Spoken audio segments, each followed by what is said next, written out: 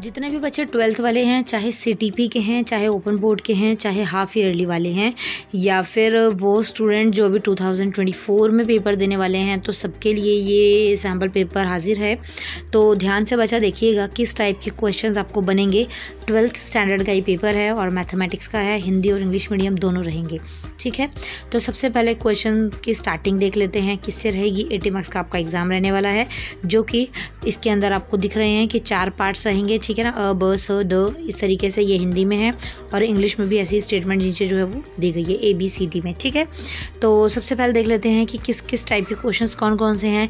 सबसे फ़र्स्ट ये क्वेश्चन आ जाता है that is M C Qs तो यहाँ पर आपको इस टाइप के कुछ क्वेश्चन रहेंगे तो आप एक बार इनकी ना स्टेटमेंट देख लीजिए कि किस टाइप के क्वेश्चन आपसे पूछे गए हैं, क्योंकि मैं हर एक क्वेश्चन को एक्सप्लेन नहीं कर सकती सॉरी फॉर दैट तो आप लोगों को स्टेटमेंट देखनी है। कि किस किस टाइप के क्वेश्चंस आपसे पूछे गए हैं।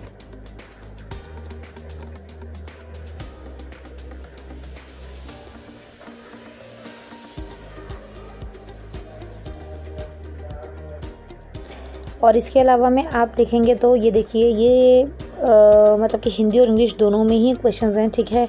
इंटरवल वगैरह निकालने के हैं ओके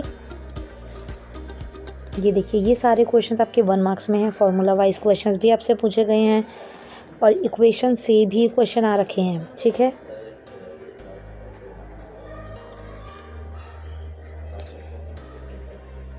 ये देखिए, ठीक है?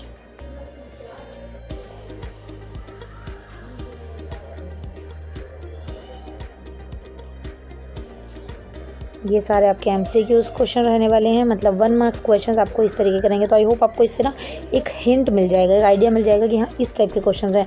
और यकीन मानिए, अगर आपको क्वेश्चन देखते साथ आपको ये लग रहा है कि हाँ यार, ये क्वेश्चन तो मुझे आते हैं तो मतलब ठीक है, आपका पेपर हो जाएगा।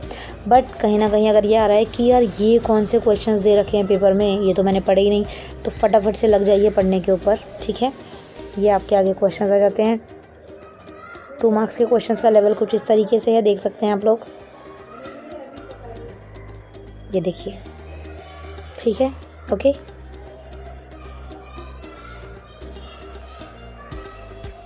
ये देखिए, ये सारे क्वेश्चंस टू टू मार्क्स के क्वेश्चंस रहेंगे ये आपके।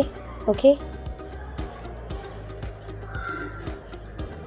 प्रोबेबिलिटी आपका ट्वेल्थ में भी पीछा नहीं छोड़ रही है टेंथ में भी है इलेवेंथ में भी ट्वेल्थ में भी। ठीक है? फिर ये सेक्शन सी आ जाता है, जो कि फोर मार्क्स क्वेश्चंस आपके इस तरीके के बनेंगे देख सकते हो आप लोग। Like this okay then this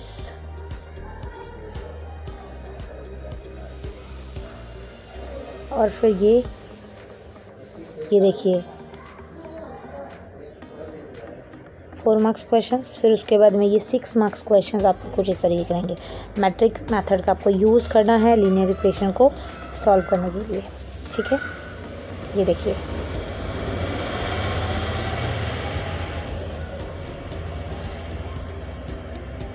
okay और में भी क्वेश्चंस पूछे गए हैं चॉइस में।